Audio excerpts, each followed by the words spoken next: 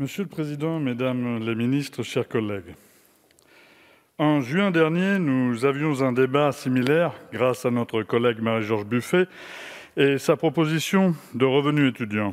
Aujourd'hui, c'est à l'occasion de la semaine de contrôle qu'un débat sur les moyens de remédier aux effets de la covid-19 sur la jeunesse est posé. Depuis des semaines, la précarité grandissante des étudiants fait la une des journaux.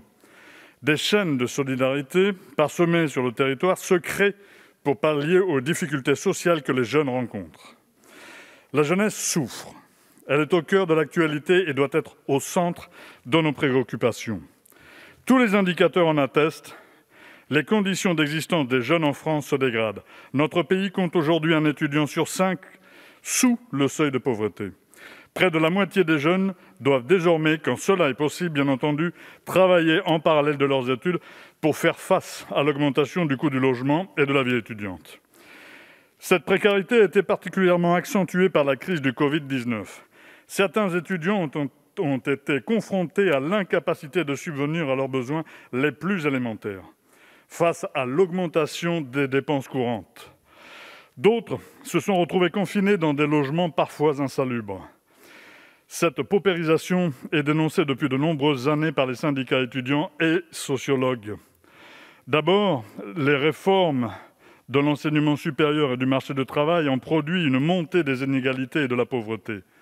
Puis les gouvernements successivement au pouvoir ont diminué considérablement le montant des dotations publiques allouées aux CROUS et aux, établissements d'enseignement supérieur. En outre, depuis 2017, les aides personnalisées au logement sont constamment revues à la baisse.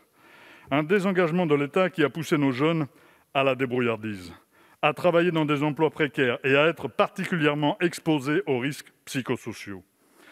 Malgré les alertes et les mobilisations étudiantes, l'État n'a jamais saisi ce problème à bras-le-corps.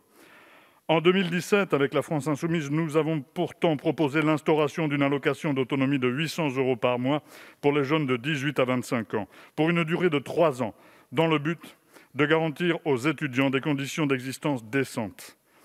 Tout au début de la crise sanitaire, nous avons établi un plan en direction de la jeunesse, proposant une série de mesures d'urgence susceptibles d'apporter une réponse à l'insécurité économique sur le court et moyen terme.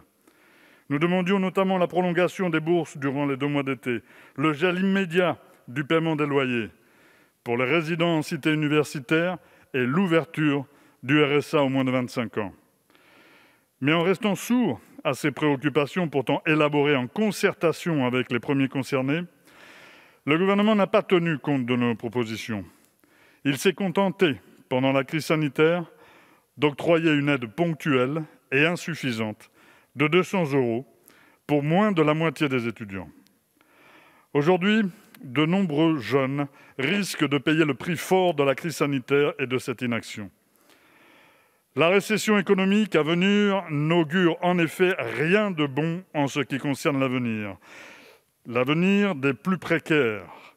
Et déjà, la période estivale qui s'annonce, pour la deuxième année consécutive particulièrement délicate pour trouver un stage, un premier emploi ou un emploi alimentaire.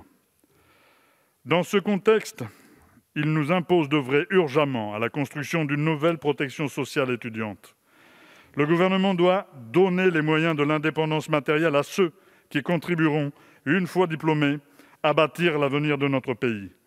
Cette mobilisation de l'État urgente est indispensable est la seule garantie de perspective émancipatrice pour notre jeunesse. Je vous remercie.